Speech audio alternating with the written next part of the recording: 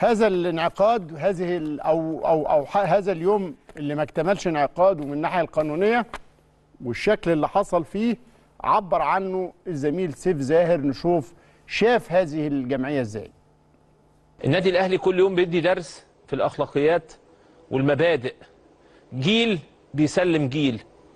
اللي حصل النهارده هو مشهد جديد يدرس في مبادئ النادي الأهلي.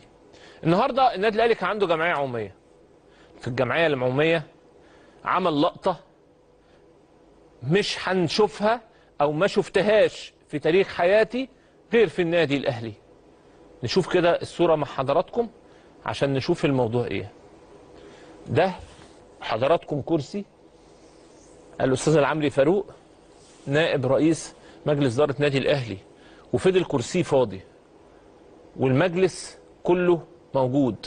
العمري النهارده هو الحاضر الغائب. الغائب الحاضر في النادي الأهلي كان ممكن في أي مكان تاني الكرسي ده ما يبقاش موجود. واللي جنبه يضم واللي جنبه يخش والكراسي تتوسع و... وتبقى يعني آه، آه، آه، إن شاء الله بإذن الله يرجع بالسلامة.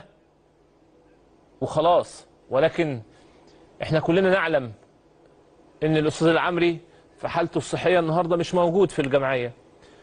ولكن مجلس إدارة نادي الأهلي النهارده برئاسة الكابتن محمود الخطيب حب النهارده يشرح للناس إن هي دي مبادئ النادي الأهلي. يظل مكانك موجود ويظل كرسيك موجود مش- بس في قلوب الناس. لا لحين إن شاء الله بإذن الله إنها ترجع بالسلامة. ومفيش كرسي بيتقدم على كرسي لحد ما تقوم وترجع بالسلامة. دي مبادئ سنين. ممكن تكون لقطة محدش يقف عندها وممكن تكون لقطة تعدي. ولكن في الانتخابات وفي المجالس وفي المنافسة وفي الصراع وجود المبادئ أحيانا بيبقى قليل قوي. ولكن في الأهلي الأهلي غير وهيفضل طول عمره غير لأنه زرع المبدأ في سنين زرع التاريخ في سنين. فعشان كده كل يوم بيدر بيدرس منهج جديد. يعني هذه المواقف إحنا بنعيشها ولكن هي بتلفت نظر من هم يرون المشهد من الخارج أيوه توقف عندها الكابتن سيف زاهر والمشهد لا تراه إلا في الأهلي طبعا إحنا نتمنى نراه في الرياضة بشكل عام التقدير والامتنان ب- يعني والاحتفاظ لكل واحد بقيمته. ودوره آه هو ده. المبدأ وال وال وال وال والرسائل. المغلفة ال- الم- ال- اللي هي غير مباشرة ولكنها ليها نتائج مباشرة. فيها معاني كتير. ولذلك أنا تاني وتالت يا جماعة ده ليس عشوائيا وليد الصدفة. حب حبوا الأهلي كما وجدتموه. هناك من ينادي بأن طوروا. إحنا نطور في آه الأداء ولكن لا نطور في القيم والفلسفة.